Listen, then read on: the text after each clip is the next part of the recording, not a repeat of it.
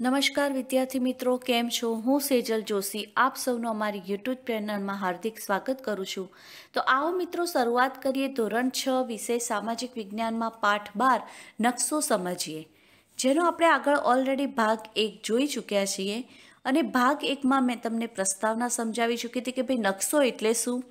નકશો શબ્દ સેના પરથી આવ્યો છે? ત્યારબાદ આપણે મેં તમને નકશો પણ બતાવ્યો તો નકશાના પ્રકાર વિશે પણ આપણે માહિતી લઈ ચૂક્યા હતા કે ભાઈ નકશા કયા કયા પ્રકારના હોઈ શકે છે અને જો તમે ના જોયો હોય તો ડાબી બાજુ આઈ આઇકોન પર ક્લિક કરી અને તમે ભાગ એકને જોઈ શકો છો. તો આવો મિત્રો આગળ હવે આજે આપણે શરૂઆત કરીશું ભાગ બે, નકશો સમજીએ. તો નકશો શબ્દ શેના પરથી ઉતરી આવ્યો હતો તે માહિતી આપણે લઈ ચૂક્યા હતા કે ભાઈ નકશાને અંગ્રેજીમાં મેપ કહેવાય છે. અને મૂળ લેટિન ભાષાનો શબ્દ મપ્પા મુંડી ઉપરથી મેપ બન્યો છે. તેનો અર્થ, હાથમાં રાખી શકાય તેવો કાપડનો ટુકડો એવો થાય છે. નકશા પોથીના નકશા વિશે પણ માહિતી લઈ ચૂક્યા હતા આપણે. નકશાના પ્રકાર વિશે પણ માહિતી લઈ ચૂક્યા હતા કે નકશા કયા કયા પ્રકારના હોઈ શકે. દરેક વસ્તુને કોઈ એક જ નકશા ઉપર દર્શાવી શકાય નહીં. તેના કારણે આપણે નકશાના પ્રકાર પાડી શકીએ છીએ કે ભાઈ કોઈ ચોક્કસ માહિતી માટે કોઈ ચોક્કસ પ્રકારનો નકશો બનાવવામાં આવે છે. જેમ કે જંગલો, પર્વતો, ઉચ્ચ પ્રદેશ, નદીઓ, મહાસાગરો વગેરે દર્શાવવું હોય તો આપણે પ્રાકૃતિક નકશાનો ઉપયોગ કરી શકીએ છીએ. ભૂપૃષ્ઠના નકશાની આપણે ઉપયોગ કરી શકીએ છીએ. હવામાનની આગાહી યા હવામાન વિશેની માહિતી લેવા માટે આપણે આબોહવાના નકશાની માહિતી માહિતીમાં દર્શાવી શકાય છે. તેવી જ રીતે સાંસ્કૃતિક નકશા વિશે પણ આપણે માહિતી લઈ ચૂક્યા હતા. ભાગ એકમાં માપ આધારે નકશાના પ્રકારની પણ માહિતી આપણે જોઈ ચૂક્યા હતા કે ભાઈ સામાન્ય રીતે એક નકશાનું પ્રમાણ માપ એક સેન્ટીમીટર બરાબર એક સેન્ટીમીટર જેમ પચાસ કિલોમીટર કરતાં ઓછું હોય તો તેને મોટા માપના નકશા કહેવામાં આવે છે. નાના માપના નકશાની માહિતી લીધી હતી. આપણે ભારતનો નકશો મેં તમને ડિટેલમાં સમજાવ્યો હતો કે આપણા ભારતમાં કુલ અઠ્યાવીસ રાજ્યો સોરી ઓગણત્રીસ રાજ્યો હતા પહેલાં. ત્યારબાદ જમ્મુ કાશ્મીરને હવે આપણે કેન્દ્ર શાસિત પ્રદેશમાં તેની તુલના ગણવામાં આવે છે. તો તેના કારણે હવે આપણે રાજ્યો અઠ્યાવીસ રાજ્યો થયા છે. તેની પણ માહિતી જોઈ ચક્યા હતા. તો આ જે નકશો છે કે જેમાં ભારતના રાજ્યોમાંની માહિતી આપેલી છે, તો તેવા નકશાને રાજકીય નકશા તરીકે ઓળખવામાં આવે છે. ત્યારબાદ આ જે આપણે નકશો જોઈ રહ્યા છીએ આપણી સ્ક્રીન ઉપર, કે જેની અંદર તમે જુઓ કે મેદાનની રચના કરેલી છે, નદીઓ ક્યાં આવેલી છે, સમુદ્રો અહીંયા બતાવવામાં આવેલા છે, તો આ પ્રકારનો જે નકશો છે તેને ભૂપૃષ્ઠનો નકશા તરીકે ઓળખવામાં આવે છે.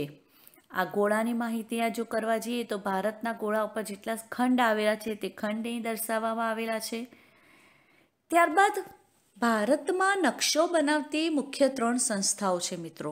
આ માત્ર તમારા જાણવા માટે છે કે નાટમો, એટલે national atlas thematic map organization, જે કોલકાતામાં આવેલી છે. ત્યારબાદ NRSA, national remote sensing agency, જે સંસ્થા હૈદરાબાદમાં આવેલી છે, જે ઉપગ્રહ દ્વારા લેવાયેલ તસવીરથી નકશાઓ તૈયાર કરે છે. ત્યારબાદ ત્રીજી છે સર્વે ઓફ ઇન્ડિયા આ જે સંસ્થા છે તે દહેરાદૂન ખાતે આવેલી છે.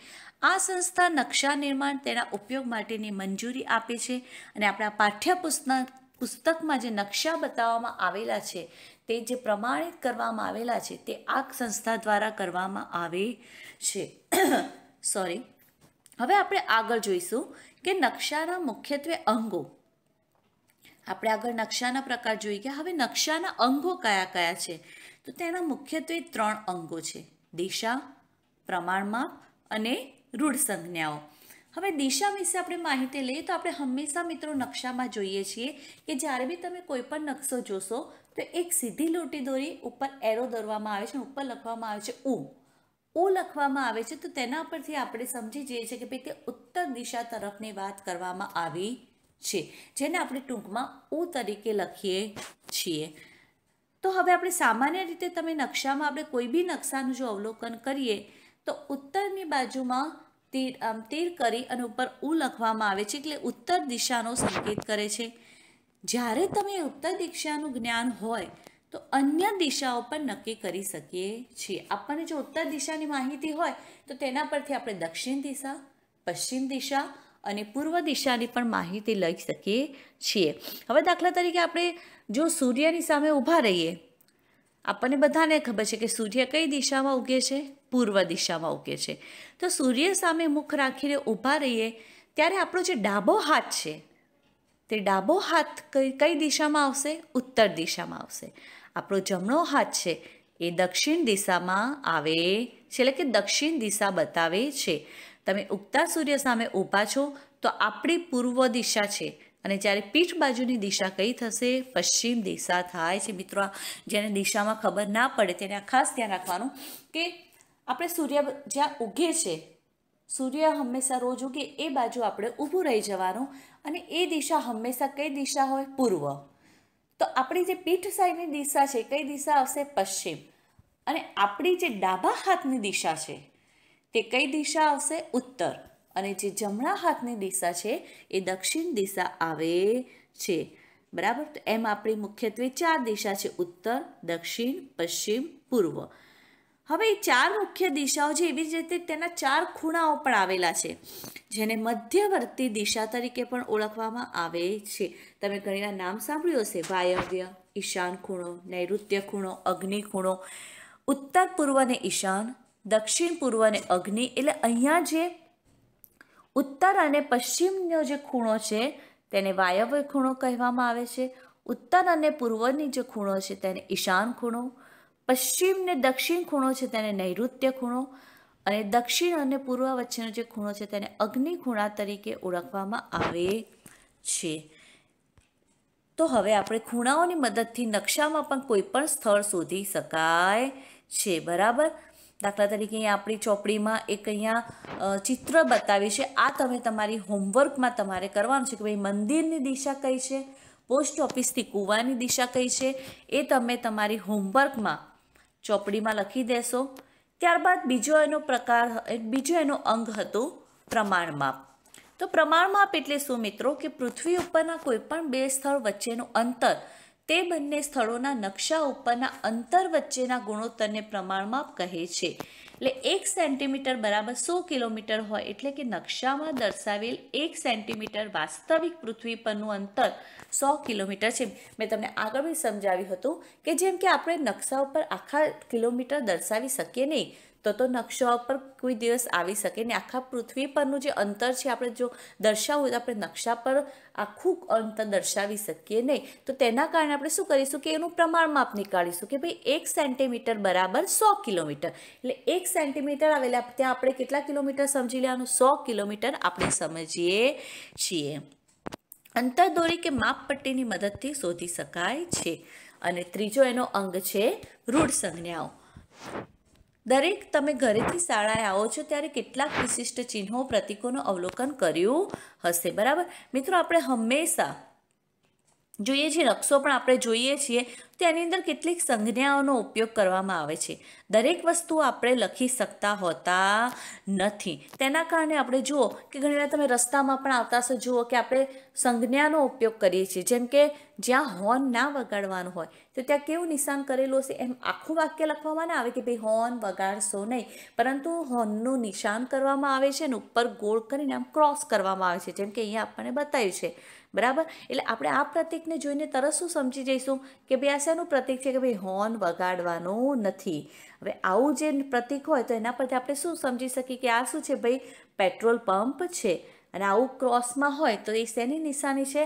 હોસ્પિટલની નિશાની હોય છે. એટલે ટૂંકમાં કહેવાનો મતલબ કે તમે જુઓ કે રસ્તા પર આપણે એવા ઘણા બધા પ્રતીકોનું અવલોકન કર્યું હશે. એટલે પ્રતીકો પરથી આપણે તે શેનું પ્રતીક શેના માટે તે બતાવવામાં આપ્યું છે તે સાબિતી, તે આપણે સમજી શકીએ છીએ. તેવી જ રીતે નકશામાં પણ એવી જુદી જુદી રૂઢ સંજ્ઞાઓનો ઉપયોગ કરવામાં આવે છે કે જેના પરથી એવા એવા પ્રતીકોનો ઉપયોગ કરવામાં આવે છે કે જેને આપણે રૂઢ સંજ્ઞા તરીકે ઓળખવામાં આવે છે. અને તેના પરથી આપણે સમજી શકીએ છીએ કે ભાઈ આ જે નિશાની છે એ શું કહેવા માંગે છે. તો જો અહીંયા આપણને આવી ઘણી બધી રૂઢ સંજ્ઞાઓ આપી છે, જેમ કે પર્વતની રૂઢ સંજ્ઞા આપી છે, ટેકરીની આપી છે, શિખર, આવું હોય ત્રિકોણ આકારનું તો આપણે તરત સમજી છીએ કે અહીંયા ભાઈ કોઈ શિખરની વાત કરી છે, અહીંયા કોઈ શિખર આવેલું છે. નદી તો આવું નસીબની નદીની નિશાની હશે. જ્યાં નદીઓનો સંગમ થયો હશે, ત્યાં આવી રીતે બે ખૂણામાં નદીઓનો અહીંયા સંગમ બતાવ્યો હશે. નદી પરનો બંધ, તો નદી વહેતી હોય તેની ઉપર આવી રીતેનો બંધ બતાવવામાં આવે છે. પાક્કો માર્ગ, એટલે આવો સીધો માર્ગ હોય તો આપણે નકશામાં સમજી શકીએ છીએ કે ભાઈ અહીંયા પાક્કો માર્ગ છે. આવી નિશાની હોય તો આપણે સમજી શકીએ છીએ કે રેલ માર્ગની નિશાની છે. દીવા દાંડી પીઓ લખેલું હોય તો આપણે સમજી શકીએ છીએ કે ભાઈ પોસ્ટ ઓફિસ, સીએચ લખ્યું તો આપણે સમજી શકીએ છીએ કે સર્કિટ હાઉસ. એવી જ રીતે નકશામાં આપણે ઘણીવાર જોઈએ છીએ કે આવી રીતે એરો કરીને, સીધી રીતે કરીને એરો બતાવવામાં આવે તો આપણે તરત ઉત્તર દિશા નકશાની ઉત્તર દિશા સમજી લખીએ છીએ. લાઈન, પછી લાઈન લાઈન આવી રીતે જો નિશાની હોય તો આપણે જિલ્લાની સીમા, રાજ્યની સીમા, આંતરરાષ્ટ્રીય સરહદ, આવી રીતે પ્રમાણમાપ ગોળ નિશાની કરીને વચ્ચે કાળું કાળું ટપકું કરેલું હોય તો દેશની રાજધાની દર્શાવવામાં આવે છે. ડબલ ગોળ હોય તો રાજ્યનું પાટનગર, એક વર્તુળ હોય તો જિલ્લાનું મથક, શહેર હોય તો નાનું વર્તુળ, જંગલો હોય તો આવી રીતે કોઈ ઝાડ દોરેલા હોય તો આપણે સમજી શકીએ છીએ કે ભાઈ નકશામાં અહીંયા જંગલની વાત કરવામાં આવી છે. પીએસ લખ્યું હશે તો આપણે પોલીસ સ્ટેશનની વાત સમજીશું. પીટીઓ એટલે પોસ્ટ અને તાર ઓફિસની વાત કરવામાં આવે છે. મિત્રો, આ બધી જ આજનું તમારા હોમવર્કમાં. આગળ મેં તમને આપ્યું હતું એ અને આ બીજું હોમવર્ક, કે તમે તમારી નોટબુકમાં રૂઢ સંજ્ઞાઓ દોરી અને રૂઢ સંજ્ઞાઓ કઈ બાબત સૂચવે છે તે તમે તમારી નોટબુકમાં લખી દેશો. હવે એવી જ રીતે કેટલાક કલરનો મિત્રો ઉપયોગ કરવામાં આવે છે. જેમ કે આપણે ઉપર એક નકશો જોયો તો કે એ નકશાની અંદર બદામી રંગનો ઉપયોગ ઉપયોગ કરેલો હોય કથ્થઈ. તો આપણે શું સમજીશું કે ભાઈ આ જે કથ્થઈ ને બદામી રંગ છે, એ ભૂમિ સ્વરૂપ દર્શાવે છે. પછી તમે જુઓ કે નકશામાં જ્યાં બ્લુ કલર હોય છે, દાખલા તરીકે આપણો ભારતનો અહીંયા જે નકશો જો આ આ જેમ કે છે, આ બદામી રંગ છે અહીંયા. તો આ બદામી રંગને આપણને શું દર્શાવે છે કે ભાઈ અહીંયા ભૂમિ છે? બરાબર? તો એવી જ રીતે અહીંયા ઉપર આપણે જેમ કે અહીંયા ભારતનો નકશો જોયો હતો તો ભારતના નકશામાં અહીંયા બ્લુ કલર બતાવ્યો છે. તો આ બ્લુ કલર શું બતાવે છે કે અહીંયા પાણી છે. એટલે એવી જ રીતે કલરના ઉપયોગથી પણ આપણે નકશામાં કઈ બાબત સૂચવે છે તે આપણે જોઈ શકીએ છીએ. જેમ કે લીલો કલર હોય, તો તેના પરથી આપણે કઈ બાબત સૂચવશે કે ભાઈ વનસ્પતિ પ્રદેશ દર્શાવે છે. કાળો હોય તો રેલ માર્ગ, લાલ કલર હોય તો જમીન માર્ગ અને પીળો કલર હોય તો ખેતી દર્શાવે છે. તો આ કોઠો પણ તમે તમારી નોટબુકમાં દોરી લેજો. હવે ભારતનું જો આપણે સ્થાન જોઈએ, તો મિત્રો જોઈએ કે ભારત એક વિશાળ ભૂમિ ભાગ છે. ભારત દેશ પૃથ્વી પર ઉત્તર પૂર્વ ગોળાર્ધમાં આવેલું છે. આ ખાસ ધ્યાનમાં રાખશો કે ભાઈ ભારતનું સ્થાન તો કોઈ એમ પૂછે તમને કે ભાઈ, પૃથ્વી પર ભારતનું સ્થાન ક્યાં છે? તો પૃથ્વી પર ઉત્તર પૂર્વ ગોળાર્ધમાં ભારતનું સ્થાન છે. ભારત એશિયા ખંડના દક્ષિણમાં. આપણે કયા ખંડમાં આવેલું છે ભારત? એશિયા ખંડમાં. પરંતુ એશિયા ખંડની અંદર બી દક્ષિણ ભાગમાં ભારત આવેલું છે. ભારતની ઉત્તરે હિમાલય છે. પૂર્વએ બંગાળનો ઉપસાગર. પશ્ચિમે અરબ સાગર. દક્ષિણે હિન્દ મહાસાગર, જે મેં તમને ભારતના નકશામાં બતાવી ચૂકી છું. ભારતનો ભૂમિખંડનો વિસ્તાર આઠ આઠ ડિગ્રી ચારથી સડત્રીસ છ ઉત્તર અક્ષાંશથી અને અડસઠ સાતથી સત્તાણું પચીસ પૂર્વ રેખાંશ વચ્ચે આવેલો છે. અને ભારતના લગભગ મધ્યમાંથી કર્કવૃત્ત પસાર થાય છે. અને વર્તમાન સમયમાં, એટલે કે અત્યારના સમયમાં ભારતને વહીવટી સરળતા માટે અઠ્યાવીસ રાજ્યો, સાત કેન્દ્ર શાસિત પ્રદેશ. સાત નહીં મિત્રો, અહીંયા પણ તો કેટલા કેન્દ્ર શાસિત પ્રદેશ આવશે? હવે નવ કેન્દ્ર શાસિત પ્રદેશ અને એક જે છે, રાષ્ટ્રીય રાજધાની પ્રદેશમાં વહેંચવામાં આવેલ છે, એટલે દિલ્હી જે છે, એ એક જે છે, એ રાષ્ટ્રીય રાજધાનીના પ્રદેશમાં તેને વહેંચવામાં આવે છે. હવે તમે આ નીચે જુઓ કે આ માહિતી વર્ષ બે હજાર ઓગણીસના પ્રારંભ સુધીની છે. એટલે અહીંયા માહિતી જે આપેલી છે બે હજાર ઓગણીસના શરૂઆતમાં છે, પરંતુ અહીંયા જે કેન્દ્ર શાસિત પ્રદેશ જે જમ્મુ કાશ્મીરને બનાવવામાં આવ્યા હતા તે એટલે અહીંયા સાત લખવામાં આવ્યું છે, પણ હવે અહીંયા કેટલા આવશે? નવ લખવામાં આવશે, બરાબર? હવે અહીંયા તમે નકશો જોઈ શકો છો. ફરી આપણો અહીંયા આપેલો છે કે આ જે રાજ્યનો નકશો છે, જે કેન્દ્ર શાસિત પ્રદેશોને દર્શાવવામાં આવેલા છે અને રાજ્યો છે, જેની ચર્ચા આપણે આગળ કરી ચૂક્યા છીએ. મિત્રો, આજના તમારા હોમવર્કમાં તમારે એક તો આ જે મેં તમને કીધું એ દિશાઓનું તમારે ડ્રો કરીને નોટબુકમાં લખવાનું છે. ત્યારબાદ આર્યુ આ તમારે લખવાનું છે કે ભાઈ મંદિરની દિશા ક્યાં આવેલી છે તે, ત્યારબાદ રૂઢ સંજ્ઞાઓ દોરીને એ રૂઢ સંજ્ઞા કઈ બાબત દર્શાવે છે તે પણ તમે તમારી નોટબુકમાં લખવાનું છે. તેમજ કલરો જે રંગ છે એ પણ આ કોઠો પણ તમારે તમારી નોટબુકમાં દોરવાનો છે. અને ખાસ કે એક તમે ભારતનો રાજકીય નકશો બજારમાંથી લઈ આવશો એટલે પેલો જે રૂપિયા રૂપિયાવાળો મળે છે તે નાનો નકશો લાવી અને આ જે બધા તમામ રાજ્યો છે, આપણા અઠ્યાવીસે, અઠ્યાવીસ રાજ્યોની માહિતી તમારે અંદર દર્શાવી અને તેને નોટબુકમાં ચોંટાડી દેવાનું છે. તો આ તમારું હોમવર્ક છે. એ સાથે સાથે તમે આનો સ્વાધ્યાય પણ તમે તમારી નોટબુકમાં લખી દેશો. બરાબર? એટલે આજનું તમારું હોમવર્ક તમે ખાસ ધ્યાન રાખો અને કરી દેજો. અને મિત્રો, ખાસ કે તમારી નોટબુકના દસ માર્ક્સ વાર્ષિક પરીક્ષામાં ઉમેરવાના છે એટલે તમારી નોટબુકમાં સોરી, હોમવર્ક જે છે કમ્પ્લીટ રાખતા રહેજો અને નોટબુક જ્યારે જ્યારે ચેકિંગ કરવા માટે સ્કૂલમાં મંગાવવામાં આવે ત્યારે નોટબુક સ્કૂલમાં મોકલાવતા રહેશો. આ સાથે આપણો બારમો પાઠનો ભાગ બે અહીંયા પૂરો કરીએ છીએ. આપનો ખૂબ ખૂબ આભાર. ધન્યવાદ.